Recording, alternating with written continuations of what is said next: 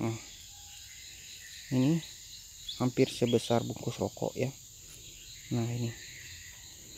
Jadi lumayan besar. Hmm. nah.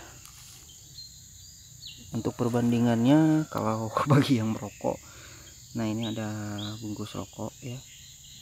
Jadi ya hampir sebesar bungkus rokok. Hmm. oke. okay.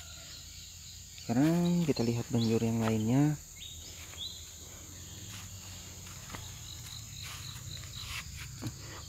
Ini takut jatuh. Lepas nanti letakkan di situ dulu. Kayaknya. Oke. Kita lihat yang ini. Kayaknya tidak ada. Nah teman-teman. Cara masangnya lihat. Lihat ini ikannya.